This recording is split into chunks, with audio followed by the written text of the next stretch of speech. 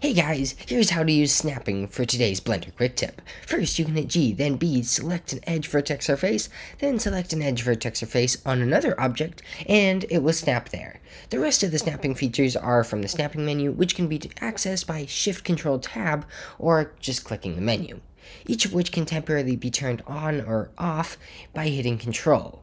So, now to increment. It will snap to the measurement values you have set. For me, it's going by meters. Hit absolute grid snap to keep it with the grid. View it from the top or side, and it will increment by the subdivisions you have set in overlays.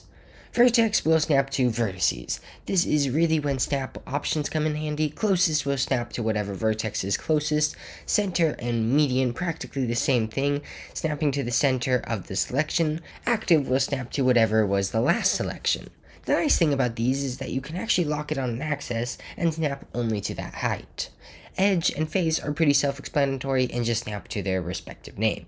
Volume, on the other hand, will snap to that. Really, this is useful for moving bones to the center of objects. Edge center will snap to the center of an edge.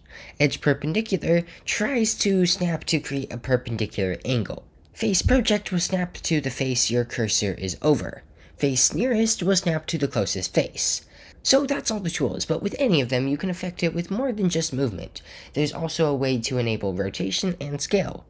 There's also align rotation to target, which could be useful if I had a sphere and wanted to rotate these objects around it. By the way, it's affected by the origin. Also, these do affect the first tool I mentioned at the very beginning. Anyways, thanks for watching, and bye!